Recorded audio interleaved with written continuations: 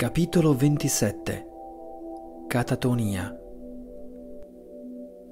senza nemmeno infilarsi le scarpe, Wendy fece di corsa il corridoio e a due gradini per volta scese lo scalone che portava nell'atrio. Se avesse alzato lo sguardo alla rampa coperta dalla passatoia che saliva al secondo piano, avrebbe visto Danny ritto in cima alle scale, immobile e silenzioso, gli occhi sfocati fissi in un punto imprecisato dello gli occhi sfocati fissi in un punto imprecisato dello spazio, il pollice infilato nella bocca, il colletto e le spalle della camicia umidicci, sul collo e appena sotto il mento si vedevano vistose e chimosi.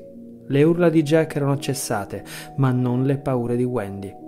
Strappata al sonno dalla voce del marito, che si era levata con la stridula prepotenza di un tempo, Wendy la ricordava così bene, lei credeva ancora di sognare, ma un'altra parte di lei sapeva che era sveglia e questo accresceva il suo terrore.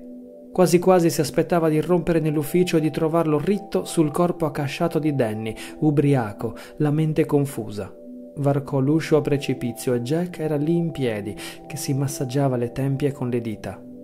Aveva il volto di un pallore spettrale, ai suoi piedi giaceva la rice trasmittente in una distesa di vetro in frantumi.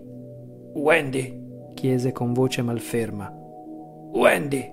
Lo stupore pareva aumentare e per un attimo Wendy scorse il suo vero volto, quello che di norma teneva celato con tanta cura, un volto di disperata infelicità, il volto di un animale preso in una trappola che non aveva la capacità di decifrare e di rendere innocua. Poi i muscoli presero a lavorare, a vibrare sotto la pelle. La bocca fu scossa da un tremito leggero. Il pomo d'Adamo cominciò a muoversi su e giù. Lo stupore e la sorpresa di Wendy erano sopraffatti dallo shock. Jack stava per scoppiare a piangere. L'aveva già visto piangere, ma mai da quando aveva smesso di bere. E anche a quei tempi, mai a meno che non fosse davvero ubriaco fradicio e pateticamente travolto da rimorsi. Jack era un uomo introverso, addirittura ermetico, e quando perdeva il controllo Wendy si spaventava sempre come se fosse la prima volta. Lui le si accostò, con le lacrime che ormai stavano per sgorgargli dalle palpebre, scuotendo il capo con un moto ritmico involontario, come in un vano tentativo di tamponare quella tempesta emotiva, e il petto gli si sollevò in un ansito convulso che si tradusse in un enorme, sconvolgente singhiozzo. I suoi piedi, infilati in un paio di pantofole, inciamparono nei rottami della radio e andò a caderle quasi tra le braccia, facendola barcollare all'indietro sotto il suo peso le alitò in piena faccia e lei non avvertì alcun sentore di alcol. Certo che no, lassù di alcol non ce n'era. Cosa c'è che non va? Lo sostenne come meglio poté. Jack, cosa succede? Ma lì per lì lui non seppe far altro che singhiozzare, aggrappandosi a lei, fin quasi a mozzarle il fiato, scuotendo la testa sulla sua spalla in quel gesto impotente, tremulo, di rifiuto. Jack! Che cosa c'è? Dimmi che cosa c'è che non va? Dimmi cos'è che non va? Finalmente i singhiozzi accennarono a tramutarsi in parole, dapprima incoerenti, poi sempre più chiare a mano a mano che il fiotto delle lacrime si esauriva. Sogno. Credo che sia stato un sogno, ma, ma era così vero, così reale. Io... C'era mia madre che diceva che papà avrebbe parlato alla radio e io... Lui, lui mi diceva di, non so, mi, mi urlava qualcosa e, e così ho spaccato la radio. Per farlo tacere, per farlo tacere. È morto. Non voglio sognare di lui, no, no, nemmeno questo. È, è, morto, mio Dio, Wendy, mio Dio, non ho mai avuto un incubo come questo. Non voglio averne altri, Cristo, è stato orribile. Ti sei addormentato qui in ufficio? No, non qui, da basso. Ora accennava a raddrizzare un tantino le spalle, liberandola del suo peso, e il movimento ritmato del capo avanti e indietro prima rallentò e poi cessò del tutto. Stavo sfogliando quelle vecchie carte, seduto su uno sgabello che ho sistemato là sotto, ricevute del latte, roba senza importanza, e suppongo di essermi addormentato. È stato allora che ho cominciato a sognare. Devo aver avuto una crisi di sonnambulismo ed essere salito sin qui si sforzò di emettere una tremula risatina contro il collo di Wendy. Dov'è Danny, Jack? No, non lo so, non era con te. Ma non era da basso con te? Si volse a guardare da sopra la spalla e il volto gli si contrasse alla vista dell'espressione di Wendy. Non mi permetterei mai di dimenticarlo, vero Wendy? Jack. Quando sarò sul letto di morte ti chinerai su di me per dirmi Ben ti sta, ti ricordi quella volta che hai rotto il braccio a Danny? Jack! Jack cosa? le gridò in faccia, adirato. Poi scattò in piedi. Vorresti forse negare che non lo stai pensando? Che gli ho fatto del male? Che gli ho già fatto del male una volta e potrei fargli del male un'altra volta? Voglio solo sapere dov'è, tutto qui! Coraggio, urla con quanto fiato in gola, così tutto si sistemerà. Wendy si volse e uscì dalla stanza. Lui la seguì con lo sguardo, raggelato per un istante. Poi seguì Wendy e la raggiunse accanto al banco della portineria. Le posò le mani sulle spalle e la costrinse a voltarsi. Il volto di lei aveva un'espressione ferma e tuttavia cauta. Wendy, mi spiace. È stato, è stato il sogno. Sono sconvolto, mi perdoni. Ma certo, rispose lei senza mutare espressione. Le sue spalle irrigidite si sottrassero alle mani di Jack. Wendy si portò al centro del vestibolo e chiamò: Ehi, dottore! Dove sei? Silenzio. Wendy si avviò alle doppie porte dell'atrio, ne aprì una e uscì sul viottolo che Jack aveva scavato tra la neve. Tornò a chiamare, col respiro che si condensava in una nuvoletta bianca. Quando rientrò, la sua espressione appariva già alterata dallo spavento. Sei sicura che non stia dormendo in camera sua?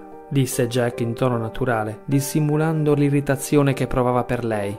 Te l'ho detto, stava giocando da qualche parte mentre io lavoravo a maglia. L'ho sentito muoversi da basso.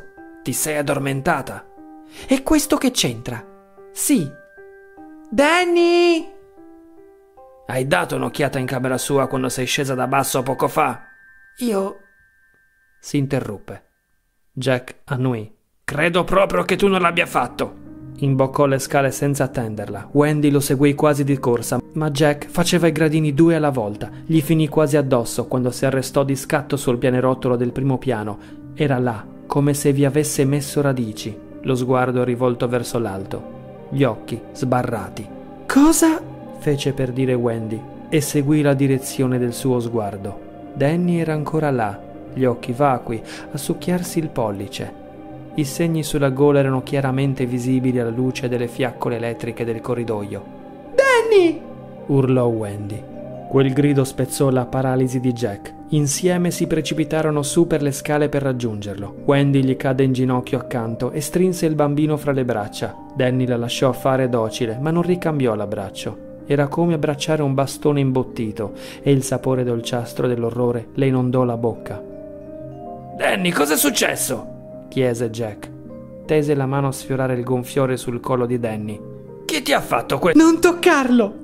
sibilò Wendy. Serrò Danny tra le braccia, lo sollevò e si era allontanata raggiungendo il centro delle scale prima che Jack potesse fare qualcosa di più che sollevarsi, confuso. Come? Wendy, cosa diavolo stai pensando? Non toccarlo! Se ti riprovi a mettergli le mani addosso ti ammazzo! Wendy! Bastardo! Si girò e percorse a precipizio il resto delle scale fino al primo piano. Mentre correva la testa di Danny balonzolava molle su e giù. Teneva il pollice fermamente infilato in bocca. Gli occhi erano come vetri insaponati. Ai piedi delle scale Wendy deviò a destra e Jack udì i suoi passi allontanarsi. La porta della camera da letto sbatté. Si udì scorrere il chiavistello. La chiave girò nella toppa. Un breve silenzio. Poi i bassi suoni attutiti dalla consolazione.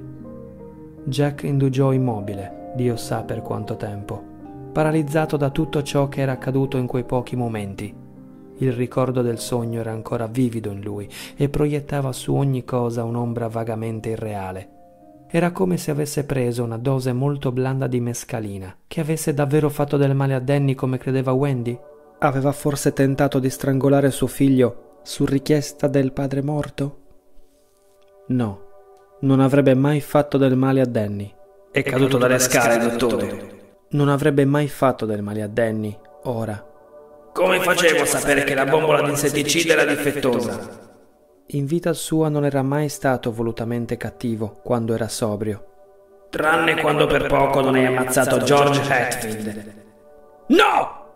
Urlò nel buio. Si calò i pugni con violenza sulle gambe e ripeté quel gesto di collera ancora e ancora.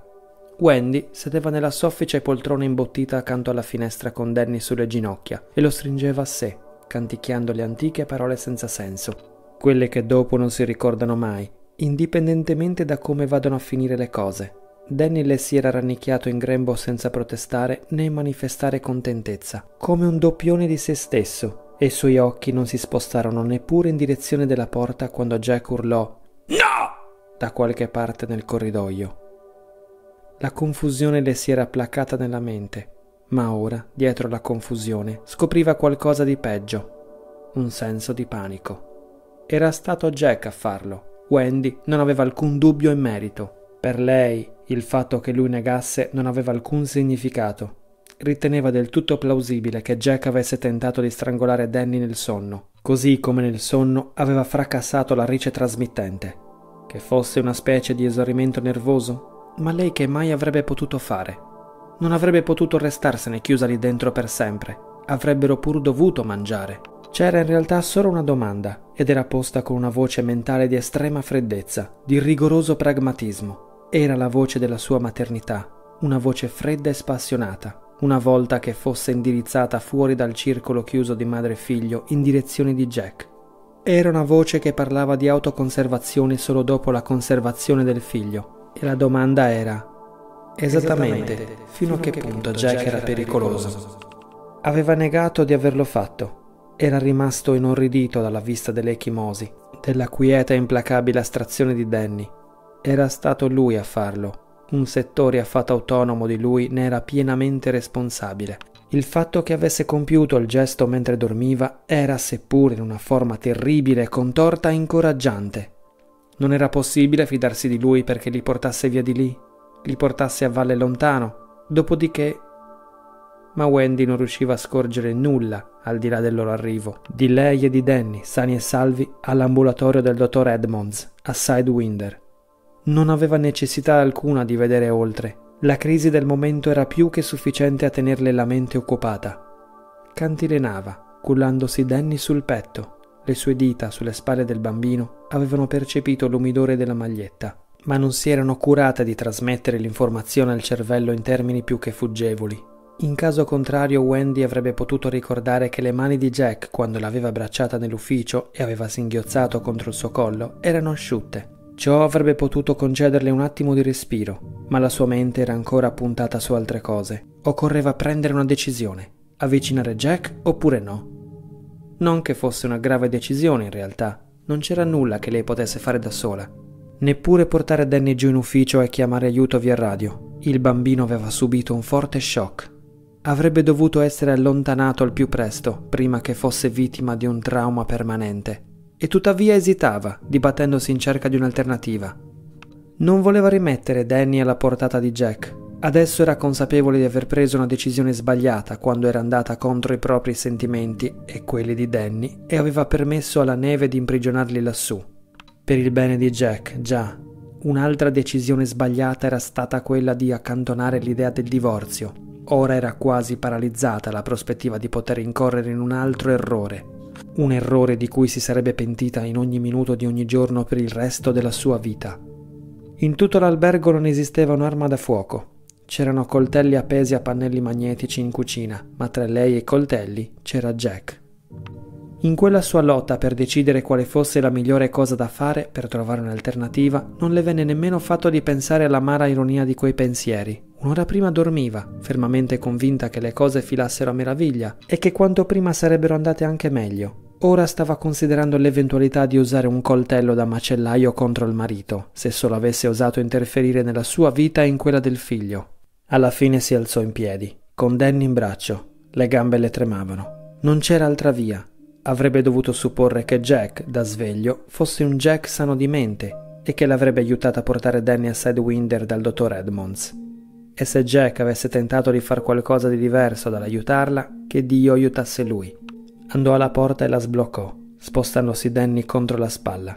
L'aprì e uscì nel corridoio. Jack!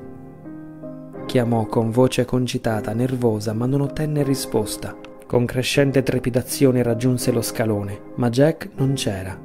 E mentre se ne stava lì sul pianerottolo, chiedendosi che cosa dovesse fare ora, Dal basso salì fino a lei un canto pieno, rabbioso, amaramente satirico. Rotolami nel trifo olio. Rotolami, stendimi e fallo ancor.